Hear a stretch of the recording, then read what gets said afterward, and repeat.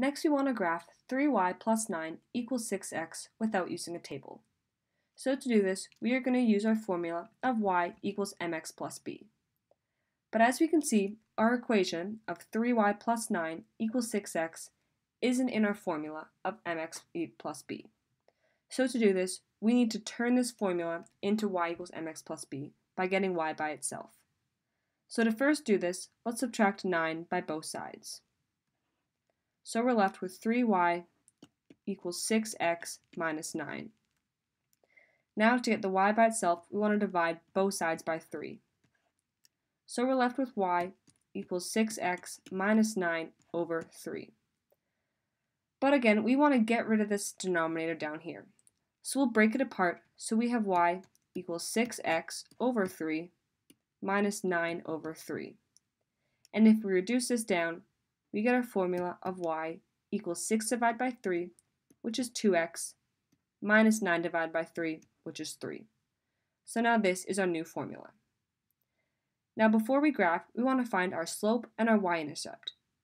So our slope in our formula of y equals mx plus b is always beside our x.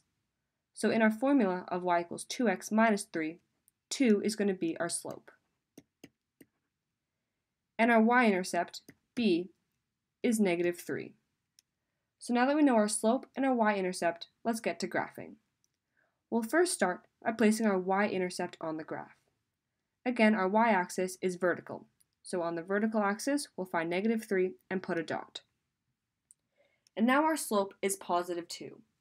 So that means we can either move up 2 and then to the right 1, or we can move down 2 and to the left 1. Let's start by moving up 2 and to the right 1. So we'll move up once and twice, and then to the right once. So our second dot is going to be right there, and we can connect our lines. And then we go up twice again, and to the right once. And then let's do it one more time where we go up twice and to the right once. And then again, we'll put an arrowhead on the end to show that it goes on forever.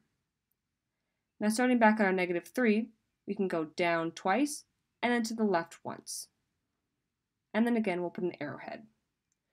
So our graph of 3y plus 9 equals 6x looks like this linear line.